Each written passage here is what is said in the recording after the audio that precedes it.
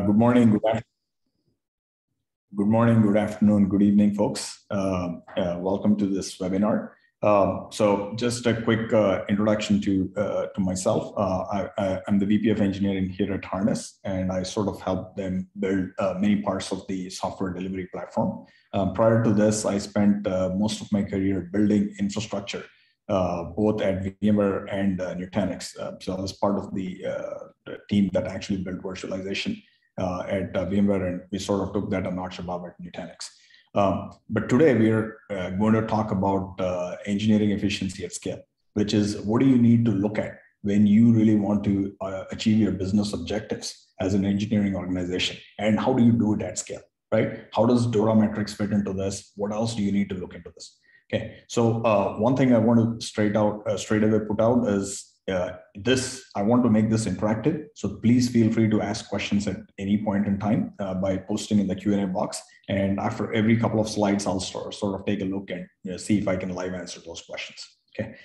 Uh, great. So let's get started. So uh, uh, straight away what are the dora metrics right? And why do uh, why do we care about it? And what are the caveats you really, really need to think about? So the dora metrics really just tell you uh, what is your ability to ship change or a set of changes to your customer and how do you do it without breaking things right? That's what they really try to help you measure. And if you do it it sort of help you highlight where the problem is okay? But what they don't tell you is uh, is effectively whether they you are achieving your business goals. And so that's something we will uh, we will uh, touch upon in a little bit okay? The one other thing a lot of people miss with dora metrics is that this just does not apply to your services that you're hosting this actually applies to your tool stack as well, uh, specifically your DevOps tool stack. Because if you do not have the ability to make changes quickly and in a reliable manner, uh, you pretty much are, uh, it's as bad as your service is not uh, meeting the DORA metrics as well, right?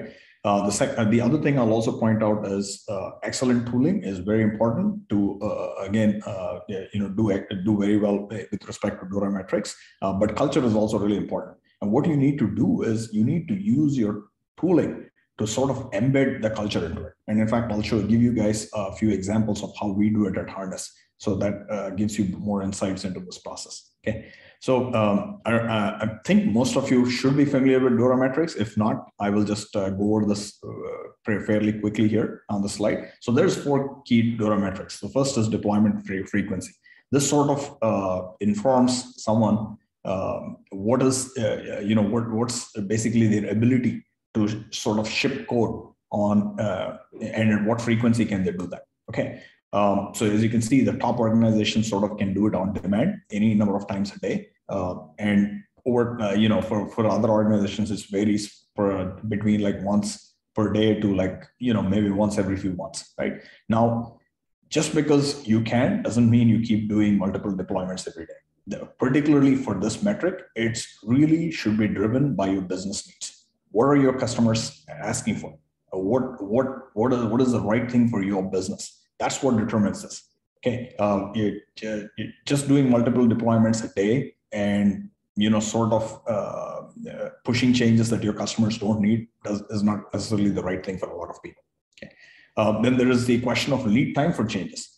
How long does it take for you uh, to basically go from committing code to putting it in production, right? Uh, what, what's the amount of time it takes uh, takes for that? And this is exactly where tooling is extremely important. Uh, are you efficient in your tooling? Are they available? Right. And if, if we if that part is not working, I I, I think the, this time uh, this particular metric will start lagging.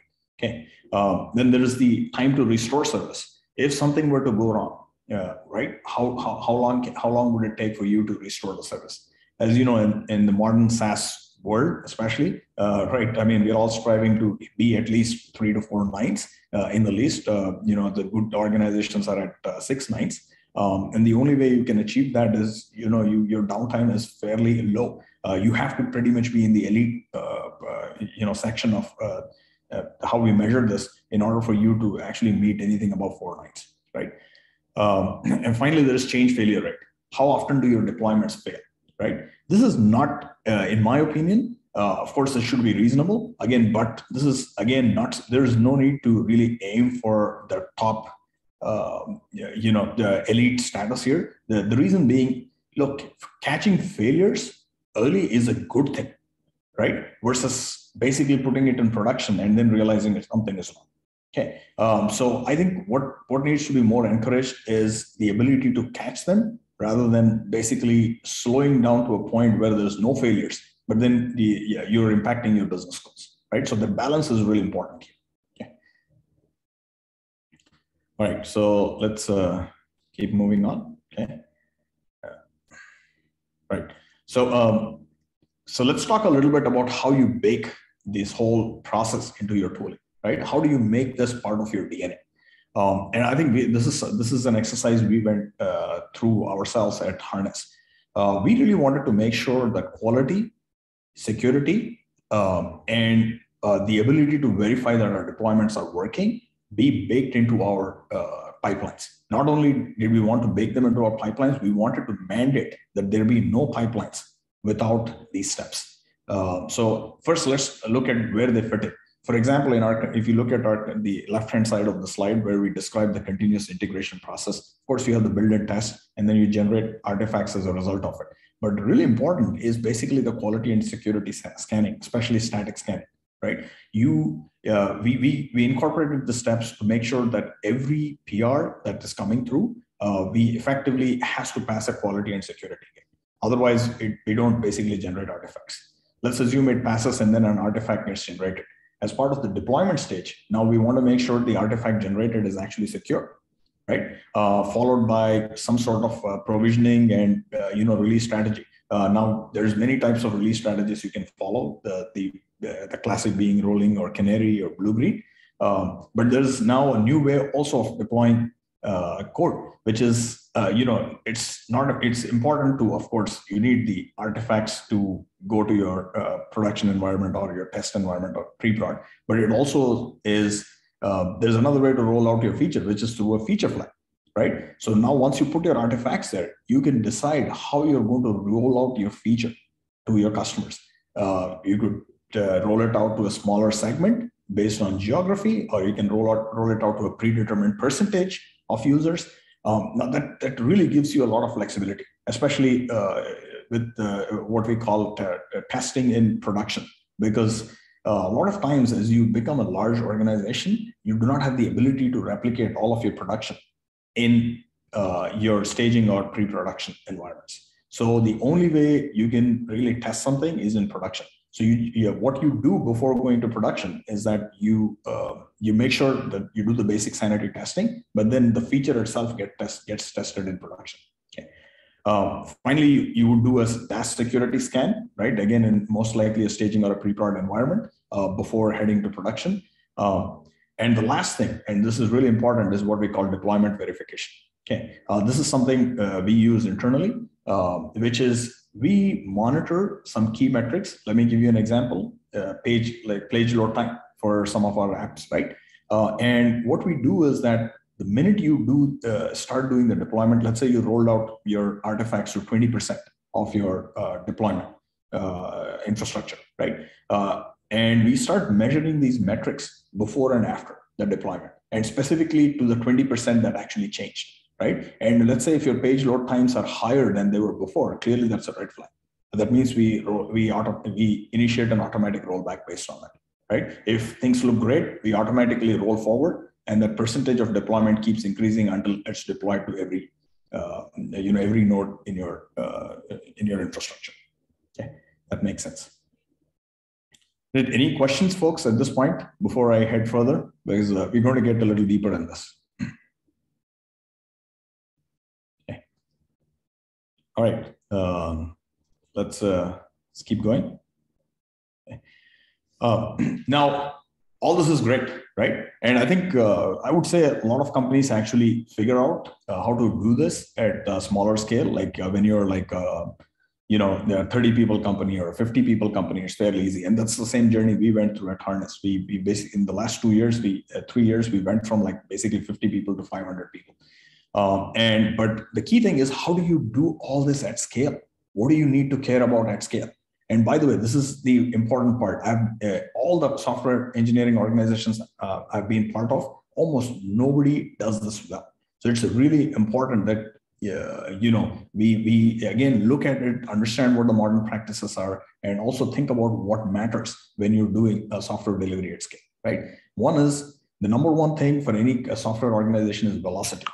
Right. How do you make sure you keep your velocity uh, and without even at a very large scale? right? And as probably uh, anybody in, in a reasonably sized organization knows, that organizations slow down significantly as they grow, right? So how do you keep that? Second is quality.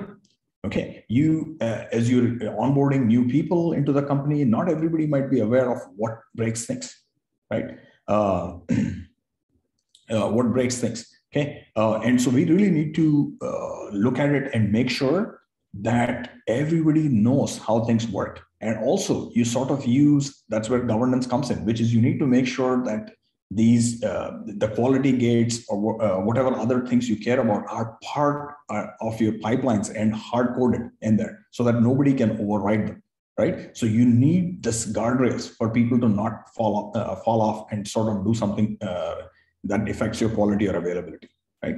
Finally you need to do all this extremely efficient. So it's great that now you have uh, you know uh, now you you've sort of figured out how to do your pipelines but what if it costs so much that the business is uh, you know it's impacting how much uh, uh, what your profit margins are right? You really need to make sure that uh, you're optimal in how you're doing this and how do you measure that? That's also very important okay? So there's a question on q&a from shafali let me take a look. It's when you're implementing at scale what are the key metrics you start with versus enabling and showing everything at once. Uh, okay, so I think uh, the, I, am not sure I completely understood the question, but I, I, really what it comes down to is see, metrics are all they're always going to be there, right? But the key ones you really want to start with is exactly the DORA metrics. That's the basic ones you want to really start with right? And that's why those are the top ones you need to look at. The other ones I would start adding are like, for example, the efficiency metrics. That's very extremely important as well. So it's great that you have all the availability and uh, whatever else you need. Uh, but what if it's costing you a lot? What if it's uh, it makes your business unviable? Right? It's extremely important you look at those as well. If that answers the question. If there's a follow up, please uh, put it in the Q and A box. Okay.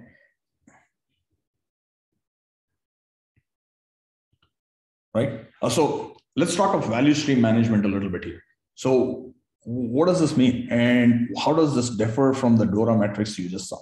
Okay what Dora metrics really helps helps you with is understand whether you have the ability to ship code quickly and can you do it with reasonable quality right what it does not help you understand is whether you are achieving your business objectives business objectives are typically defined by okrs right uh, some, i think some people use kpis but i think okrs is the new gold standard in my opinion right uh, and really there's different types of OKRs, right? There's product related OKRs, which is, uh, you know, you know, uh, for, for example, you might be wanting to ship a new product or you might be wanting to provide a new service, right? That, that that's usually defined by one or more OKRs. Then there's people related OKRs. There's something like a lot of uh, organizations ignore, but at scale, it's extremely important.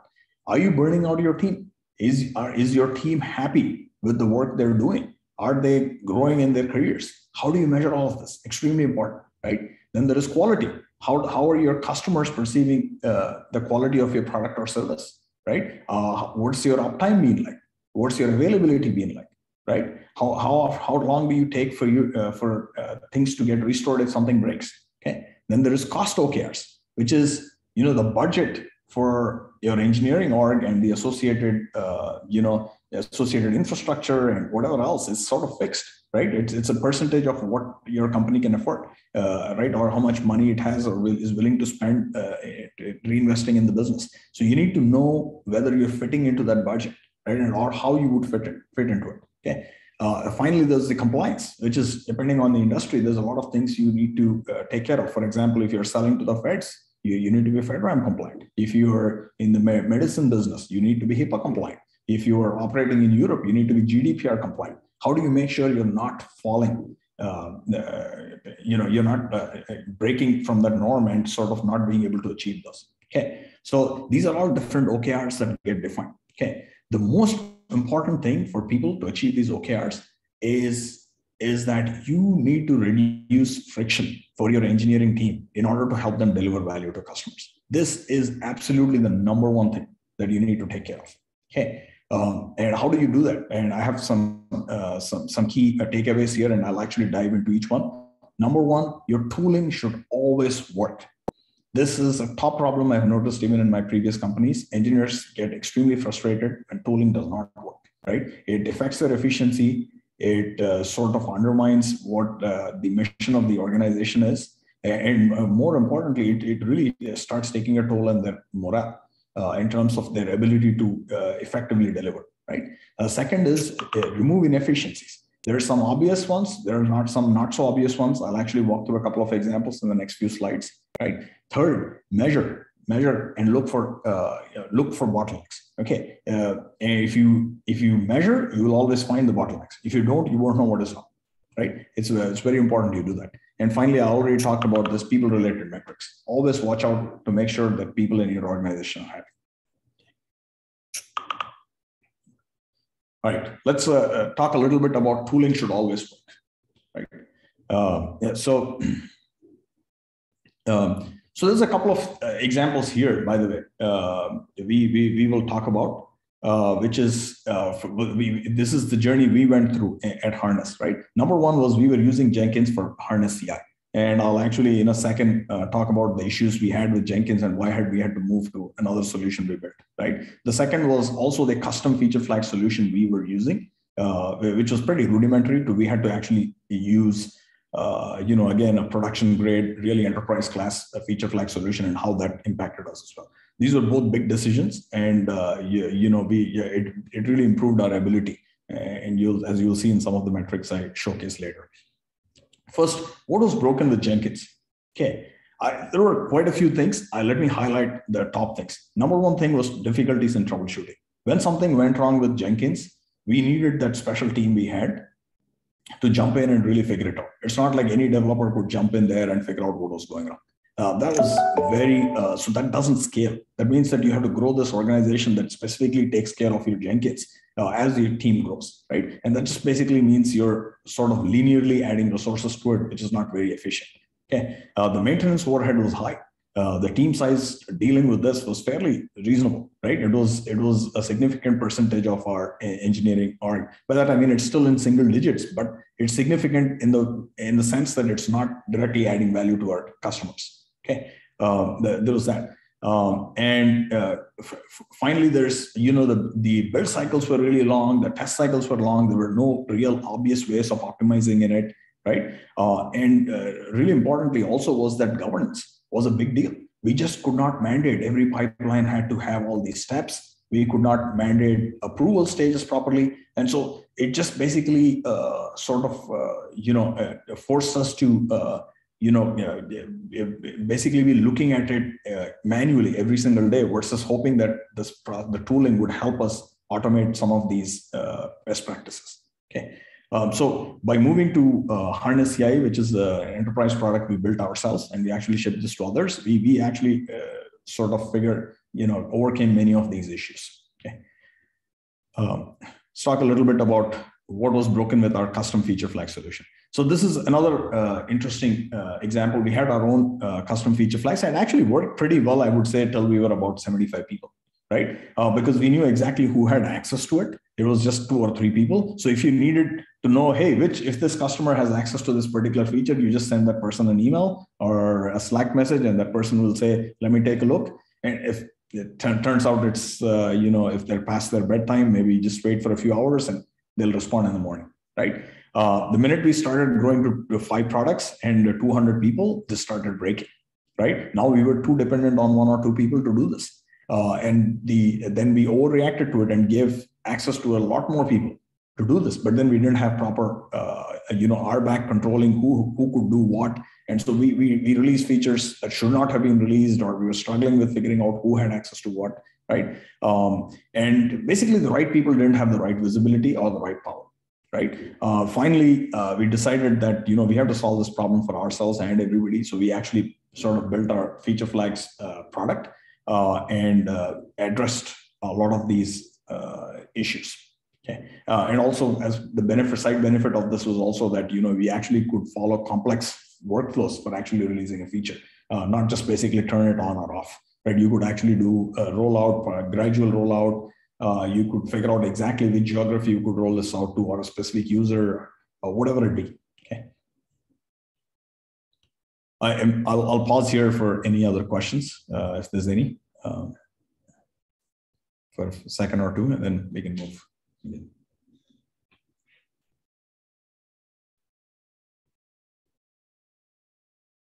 Okay, all right. Let's, uh, oh, there it is. Uh, how do we get visibility into all the feature flags that are being, excellent question, right? So this is uh, just, uh, you know, I, I, I, don't want to advertise a specific product or so, but uh, if you look at some of the commercial uh, offerings for feature flags, uh, what they do is they have SDKs uh, which help you publish the specific feature flags you're using. And also you can go to the GUI and really look at the list of these, the features that are all present and who it has been released, right? And the thing is, the most important thing is you can control who sees this. And you can also sort of control which feature flags, uh, who has the power to change certain feature flags, right? And also uh, who has the power to roll this further or roll this back and things like that. Okay, I hope that answers the question. Yeah, please type any follow-on questions and we'll take it uh, in a second there.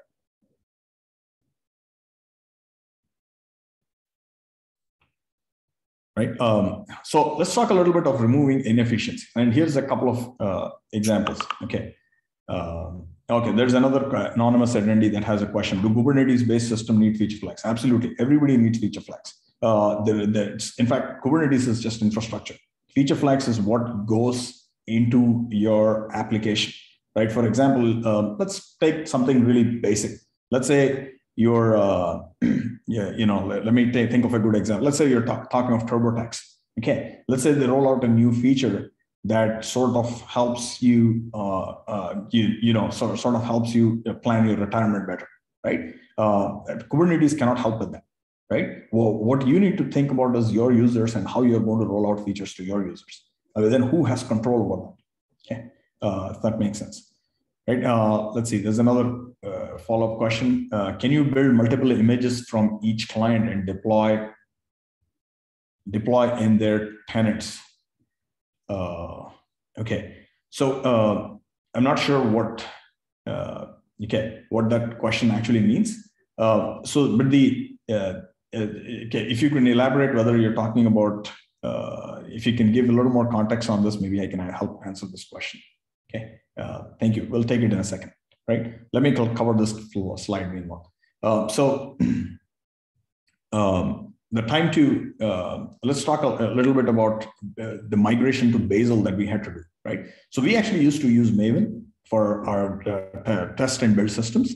And uh, if you really look, this is an actual, uh, uh you know, graph of all that, how long it actually took for us to run all of our different types of tests. And these are taken data points taken once every month over a four month period, right? And if you really look, uh, the time it took for most of our text tests almost doubled or tripled in, in each of these cases, right? And the reason for that was our team grew a lot during that period and also, uh, you know, we were adding new services and new tests associated with it. And one of the things with Maven is you can't pick and choose. Uh, when you're running uh, like in a mono repo, you can't pick and choose what uh, builds and tests you were, you were specifically running for each developer, right? And so what we did was by moving to Bazel, we were sort of forced to create a dependency graph. And people could just, uh, when they make code changes, we were only building the necessary parts of it using a global cache for everything else and also uh, the tests were associated with the specific component that you were building. Okay, uh, that's great, but that's not sufficient. What if you just made like you know five line change, which only really affects one test even within the specific service, right? And for each of our services, the tests take anywhere between 10 to 15 minutes, right? How do you how do you do that? Um, and the, the uh, for that what, what we did is we we use something called test intelligence and let me sort of walk you guys through how this fits into the whole process now, this is how a typical PR process looks like, right? Uh, a developer basically goes, creates a local working branch, creates a pull request on it, uh, right? Uh, sorry, uh, starts uh, starts coding and then put, creates a pull request on it. Finally, goes through the review process. When they're going through this review process, uh, what they do is obviously they had the changes, they sent it for review, they get feedback, they make changes, they go do a build again, and then a test cycle again, and then submit the review again. And they might get more feedback, again, code changes, build, and test. So what we found out was on for for harness, we do about 700 odd PRs per month, pull requests per month. And for each PR, we actually do 3.5 PR checks per merge, which is if you look at the cycle of code changes, build and test, we repeat that about 3.5 times for each PR. Okay. Um, and so that resulted in about 2.5 thousand, uh, you know, PR checks a month, right? Uh, and basically, the thing what we uh, what what what were we doing with test intelligence? Let me walk through that in a, a little bit in detail here. So what we do here is we instrument dynamically instrument our code to figure out what is the exact set of tests that impact the specific change you made to your code. Okay, like for example, if you change only one line of code and there's only one test that covers that, we will be able to figure that out right? So if you had like a 100 unit test, we would only run that one instead of the 100. Okay. Uh, so when uh, so the, so what we found out was once we started using this module, what we call test intelligence, we found out that uh, the number of test runs saving with uh, TI, we were saving about 35% time uh, in the amount of tests we uh, you know we we had we could avoid running if we with test intelligence, right? If you let's look at a little bit about the math, which means that uh, you know, if the average test time without test intelligence was 43 minutes, uh, right? And if we saved 35% time, what we found out based on the 35% saving was that we were saving 3.5% years every in a calendar year with test intelligence. Okay, that makes sense.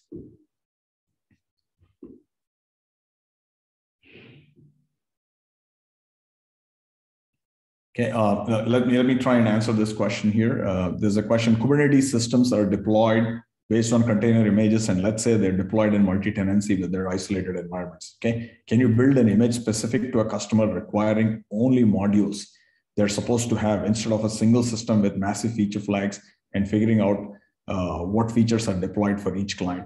Uh, absolutely. I think uh, uh, what what this really comes down to is uh, yes, if you're doing more of an on-prem solution, this seems like you could make it work. But if you're a SaaS solution and it's sort of shared between tens of customers, uh, which is what a lot of people do, uh, it sort of makes sense to uh, basically use feature flags. Uh, right? thanks for clarifying your previous question. And also, I really think that you should plan for scale uh, yeah, like what's being described here to use Kubernetes uh, and images to uh, do this isolation, I think works better on a, a smaller scale. Uh, but really, ultimately, you have managing the features is the bigger problem, not how you achieve it, right? Uh, so you could uh, technically use a different mechanism, but how you manage those feature flags on top is the most important part, right? And if you basically by doing it at the infrastructure level or, or the image level, I would say it just becomes really, uh, it actually, I would say at scale becomes extremely complicated. You really have to know what's working. And if you have to debug, it becomes really, really hard. Versus, uh, yes, your code might look a little more clunky with feature flag SDKs built into it. Uh, but if you figure out a good mechanism to do it or a good system to do it, uh, it becomes much more readable. And also, uh, I, I, think uh, the amount of time you'll spend debugging uh, you know any anything more than 100 users will reduce dramatically. Thanks for the question. That's a great question. Uh, so uh, let's talk a little bit about how we uh, actually measure and look for bottlenecks as well. Okay. Uh, so these are actual real examples of uh, you know um, uh, of some of the metrics uh, we, we, we look at at uh, Harness, right? So look at just look at our uh, deployment frequency. This is from the past week. This is pretty much, I would say, the same, even if you go back a few months. Um, um on some days, we do over 100 plus deployments. It, again, as I said, you really need to look at your business function uh, and decide what is the deployment frequency you need to have. The reason we have so many deployments is we have a number of services, we have a number of products uh, that uh, you know we ship, uh, and they're all deployed independently, and that basically is what what highlights this, right? but if you look at the ability to also change, like some days it's lower, some days it's higher. It's just the most important thing is do you have the ability to do this? Okay, that's that's part one. the second thing here is um, that if you see uh, October 16th, 17th, that happened to be the weekend, so nothing much there. Uh, if you look at 15th, that's uh, thanks to uh, some of our awesome execs at Harness. We actually have the second Friday off every month. Uh, and uh, this is in addition to other holidays, right? And so it's just uh, beautiful that we get the day off. And so our, you know, our deployment frequency was much lower that day, but it's still surprising that we had 10 plus deployments even on, on an off day. Okay. Uh, so this is something I think we're extremely proud of on how uh, how smoothly this part works for our organization. Okay. Now, actually, let's look at something that probably the number is not where you think it should be. The change failure rate. If you look, we are at 25%. Typically, when, when you talk of an elite organization, you're talking less than 15%. So it's really important you have dashboards like this to figure out exactly where the problems are. So if somebody told me you have a 25% median failure rate, the first, my first reaction is, but why? Right. And immediately you jump into a report like this uh, and I can see, hey, can I sort uh, by the list of projects that actually have the highest deployment failure rate? And immediately you can see where the problem is, right? In this case, if you see most of our, uh, the most of the projects with the highest deployment failure rate were actually test projects in our case, right? Which is fine. Uh, it was great. And they're actually probably not even deploying to production. Okay, uh, we were quickly able to figure this problem out and say that's fine. I think this is something we can ignore, and like maybe for a future dashboard, we can just uh, you know not uh, put this uh, sort of uh, you know remove these uh, filter these projects out so that we only look at the ones that really matter to us. Okay. Right. Finally, um, how long does it take for you to do the deployment itself? Right. Um, now, this is you're really looking for anomalies here. Like if you look at this graph, clearly we have uh, there's actually i think two projects here that have this 24 hour thing where we really run the deployment for an extremely long period of time like it's almost a day and then it fails uh, right uh, so you know that something is wrong with these two projects Okay, but if you look at everything else, and if you look at the mean, duration, it's, it's uh, uh, really good. It's less than 30 minutes for us to do a deployment, right? So immediately helps us focus on where, which projects are the problem areas, can work with the team leaders, and they can just go fix this themselves. Okay. Um, finally, we should, uh, I talked about cost, right? Like a few times here. And this is extremely important uh, that everybody should pay attention to this because this is the runaway train that can derail all your projects. Okay. Um, in our case, our logging cost was pretty high. It was, and it was increasing significantly. Okay. Uh, so I don't have this graph for more than the period uh, here, which is for like a quarter, uh, right? But basically, what it was is that this had been all growing slowly over the last year. And so we uh, we looked into this. Uh, this is our logging cost, uh, you know, in GCP. And we looked into this and we said we have to take care of this. This is this is disproportionately high for what we are doing, right? And somewhere in August we started working on it, uh, and you know you can see a trend downwards from there on on how we are addressing this. So um, again, to summarize, I think uh, looking at these metrics extremely important. This is how you know what is wrong. This is how you identify bottlenecks and uh, just please make sure that you're building systems that actually allow you to measure and identify these bottlenecks. So then you can do the other things I talked about, like in our case, we moved to Bazel world, we built test intelligence. These are all efficiencies we gained after realizing what was wrong with our process. Okay, um, that concludes my presentation. Um, I'm, I'm here to answer any questions um, from here on.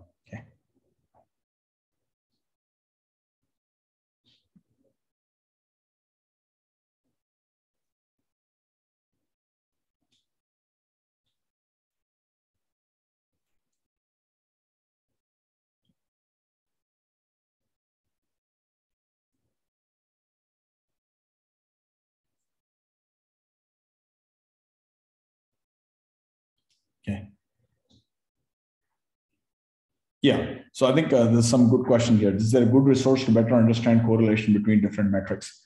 Um, yeah, it's, a, it's an uh, extremely good question. So it depends on again which part you're uh, you're, you're talking about. So let, let me give you a couple of examples. Okay, um, so one is one if you if you look at uh, the uh, deployment verification part of our product, which is called continuous verification what we really try to do is we really try to help map between um, you know like the specific change that you were doing for example a deployment or whether you did an infrastructure related change and point out to specific failure and show you the correlation between them. That might be one way you can correlate the metrics right? Um, uh, and um, uh, you, you know typically these are pretty hard to do uh, exactly what is wrong. I think the key thing here is change related to specific metric not going right is possibly the the thing that is uh, that's the best way to correlate things right versus just correlating different metrics together uh, right? Because what you're really trying to do at the end of the day is root cause why yes some metric is not where it should be for you. Hopefully that answered the question. Okay. uh, i'll take the next question.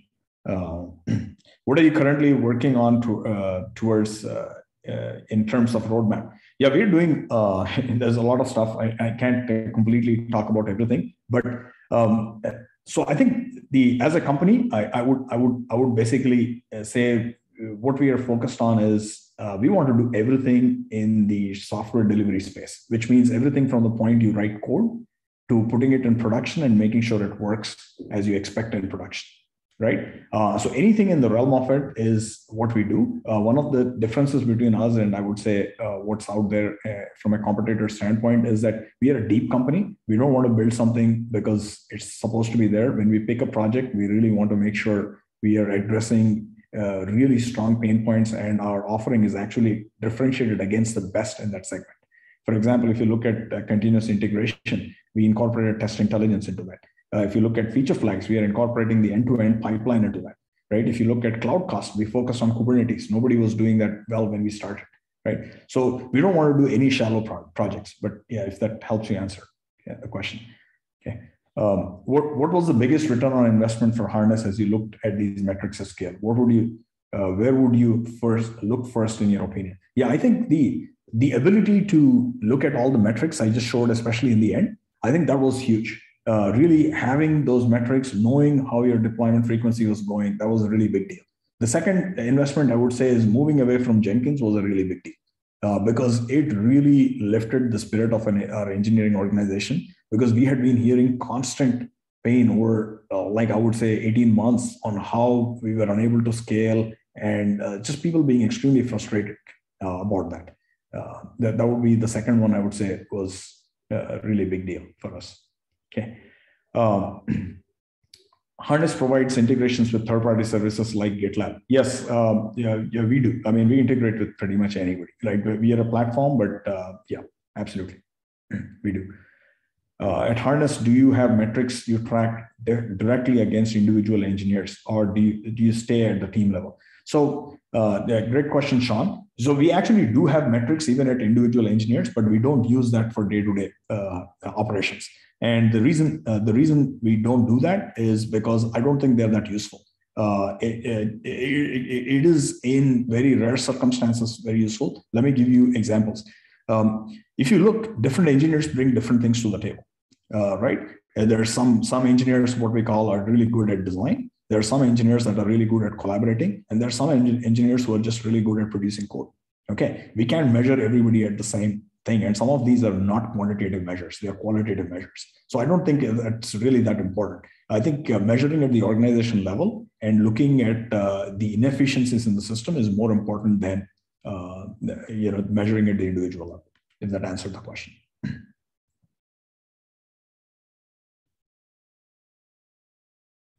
Okay, uh, I think we have a few more minutes, so I'm just uh, going to hang around here, uh, if that's okay, Marisa, for a few more minutes to answer questions. Oh, there you go. Okay, uh, great question here uh, again uh, once more. So which is, uh, can you use uh, harness with GitHub Actions and how do you uh, deal with overlap? Yeah, so we actually connect very well. So you can use any CI solution with our continuous delivery or our continuous verification or feature flags product. that works pretty well. On the other hand, you could just be using GitHub SCM and you can use our CI solution right? The way we, if you were to use GitHub Actions is, um, you know, we, we actually have all sort of trigger events where you can tell us when an artifact has been generated and we can basically take it from there and help you with the rest of the deployment. Uh, but yes, we, uh, we, we actually integrate really well into most SCM and other CI solutions out there.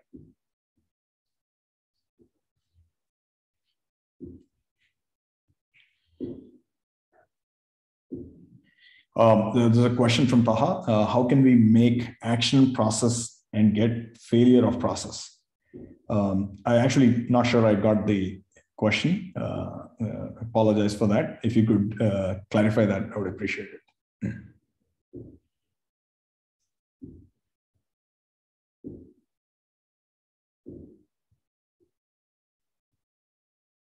Okay, any any other questions here or clarification to the previous question?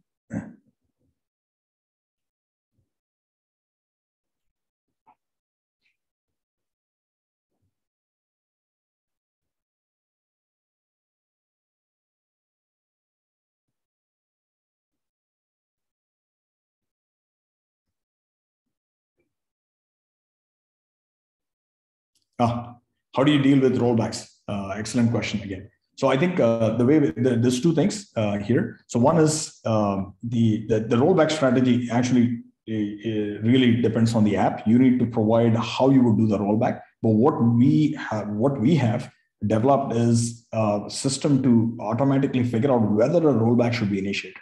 Right. So, for example, I, I was just giving you the example of page load times. It could be any metric you care about. So we we monitor those metrics over a period of time and sort of create a baseline on how your app behaves. So when you go ahead and start rolling out a new new uh, artifact or even start rolling out a new feature, we start looking at those metrics uh, in context of when you did it and start seeing whether those metrics deviate from a well-known baseline. If they do, uh, we automatically initiate a rollback.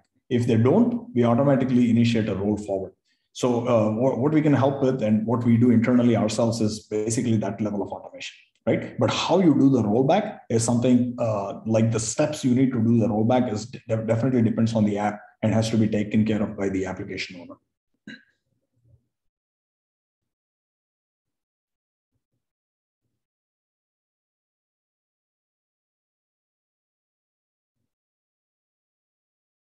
Yes. Okay. Uh, thanks, uh, Taha, for uh, clarifying your question. Yes, absolutely. So I think uh, you uh, you you you you can there's a lot of actions you can take on on the CI/CD pipeline right at different stages and on different events and it doesn't even need to be failure you can just define the the, the uh, event in which you would like to trigger a failure response uh, right or or a notification response for that matter or an approval uh, step uh, for that matter right you can do all this and uh, yes all of these integrate on slack uh, and you can basically uh, act on either an approval or a failure or even a success case, whatever it be, uh, on Slack or some of the other tools. I mean, we have pretty deep integrations with a number of other tools out there, including Jira.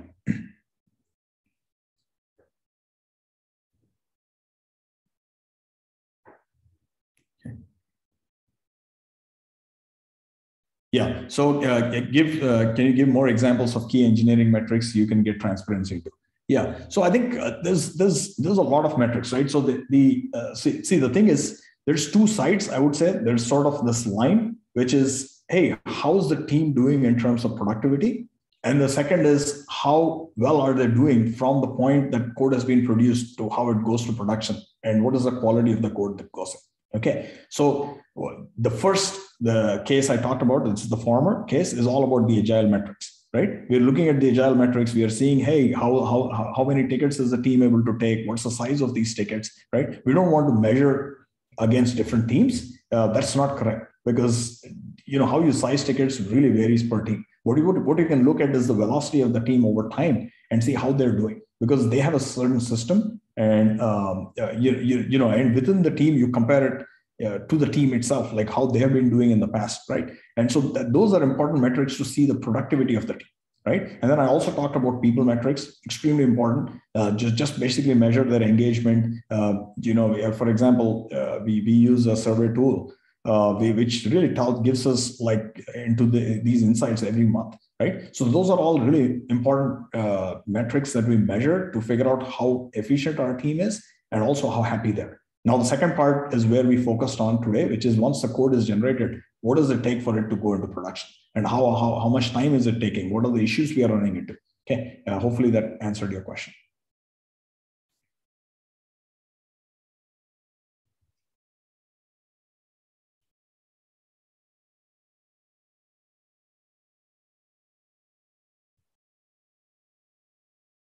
Okay, just uh, waiting for some more questions. Um, maybe give it a few minutes.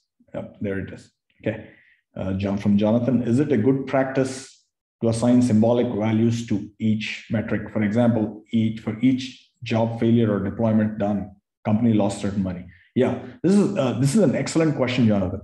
Um, I think, and by the way, this is a pretty debated uh, question as well. So a lot of times, I mean, uh, let let's look at it the other way which is can we assign a dollar value for every commit that a developer does, right? And the answer, what we found to that is it's not simple because typically, if you look at a per commit basis, you cannot really figure out what is the impact because two commits together are probably worth 10x more than what each commit would have been worth by themselves, right? So, so I think uh, uh, uh, abstracting it a little higher, especially at like a service level or a product level, helps a lot more, uh, right? Versus going down to each comment or each failure. Okay. Uh, again, like uh, I think failure is uh, in, in, case of failure, it's a little easier to assign it, but the dollar amount to it. But even then, I would I would basically say. yeah, you know, I would basically say that the right way to do this is look at how much, what was the downtime you had in a given quarter and really associate the money lost from that point of view versus a specific failure? Because it's really hard. Like maybe you lost a customer just because of one failure or maybe you lost customer because you have a lot more downtime in a quarter right? I, I would say the latter is more likely which is people get frustrated when you have repeated failures versus a single failure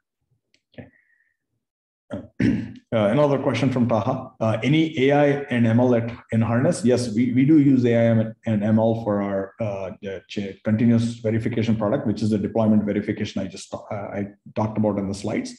Uh, right, uh, that is that is how we figure out whether your metrics are you know sort of not following the pattern that they were following in the past. We we learn and build a mathematical model using ML, and um, you know so sort of compare against that to figure out uh, whether uh, your deployment is going well or not.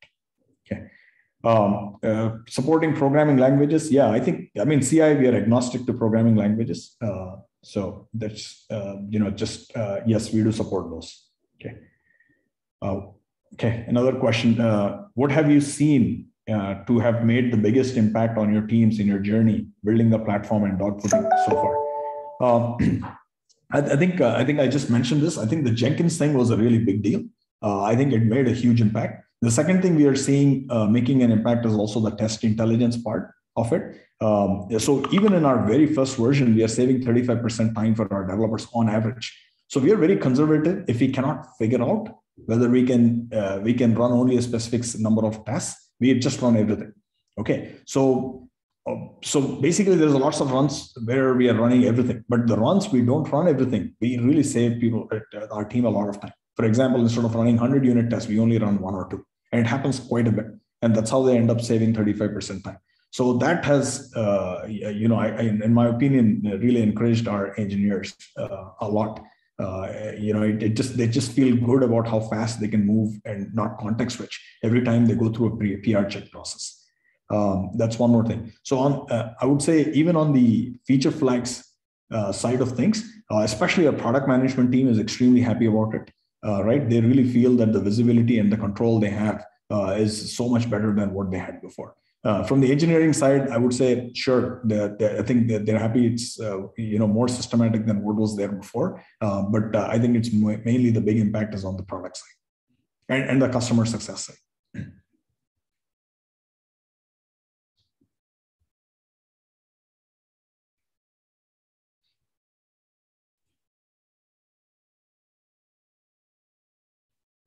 Okay, guys, let's uh, give it one more round of questions, uh, I guess.